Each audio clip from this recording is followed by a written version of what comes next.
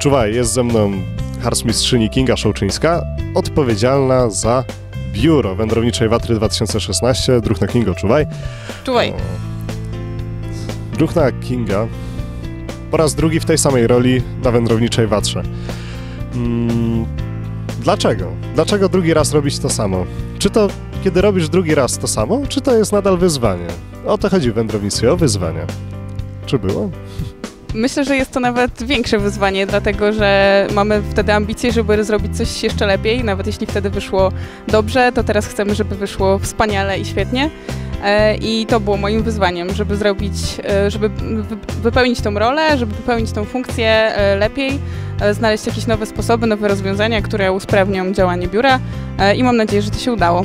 A oprócz tego są też nowe zadania, bo wiadomo, że inni ludzie to inna watra. No właśnie, biuro jest chyba mm, ludzie obsługujący biuro, czyli właściwie, e, są osobami, czyli osobą, która, która najlepiej zna uczestników Watry. E, jesteś w stanie powiedzieć, ile maili wymieniłaś? Okej, okay. zadałem specjalnie to pytanie, bo nie wiem, było ich bardzo dużo, wiem o tym. Co możesz powiedzieć na podstawie mm, takiego kontaktu e, o uczestnikach tegorocznej Watry? Najpierw chciałabym zdementować, że biuro Patry to nie tylko jedna osoba e, i zwłaszcza tutaj na zlocie jest to przede wszystkim służba e, IST, która obsługuje biuro. Ja to tylko gdzieś tam nadzoruję z boku, natomiast przed Watrą faktycznie to ja odpowiadałam na wszystkie maile. E, nie, nie może nie tyle wszystkich uczestników, co patrolowych i rzeczywiście tych maili było całe mnóstwo. I patrolowi pewnie różni?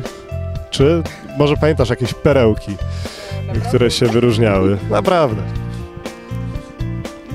nie ma co wspominać złych chwil. e, jakby problemy były różne. Często dało się rozwiązać je w bardzo prosty sposób, odsyłając czy to do regulaminu, czy to e, do jakichś informatorów, które tworzyliśmy w międzyczasie. E, I to nie były jakby skomplikowane problemy. Było kilka takich spraw, które trzeba było gdzieś tam skonsultować z komendą, natomiast było po prostu to taka żmudna trochę e, praca czytania i wklepywania tych maili. Natomiast nie, nie było to jakiś szczególnie... Tak, a myślisz, że z Twojej pracy wynika elitarność wędrowniczej watry? Chyba nie rozumiem pytania.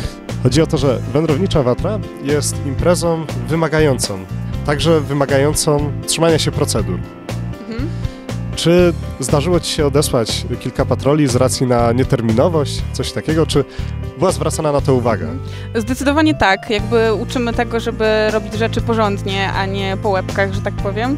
E, natomiast jakby też nie było, nie, nie byliśmy jakby takimi jakimiś kamiennymi tablicami, których e, nie można przemóc i zawsze było jakieś rozwiązanie kompromisowe, do którego mogliśmy doprowadzić. Zależało nam na tym, żeby patrol jakby docenił powagę sytuacji e, i sam wykazał inicjatywę i chęć do tego, żeby rozwiązać sytuację jakby z korzyścią dla obu stron i też właśnie z zachowaniem pewnych zasad i z szacunkiem dla regulaminów, które są ważne. E, ostatnie pytanie dla Ciebie w takim razie. Co Ci się najbardziej podoba w komendzie? Przyjaźń? Jak będzie. W takim razie przyjaźń. Bardzo dziękuję. Harcmistrzyni Kinga Szołczyńska, szefowa Biura Wędrowniczej Watry 2016. Dziękuję.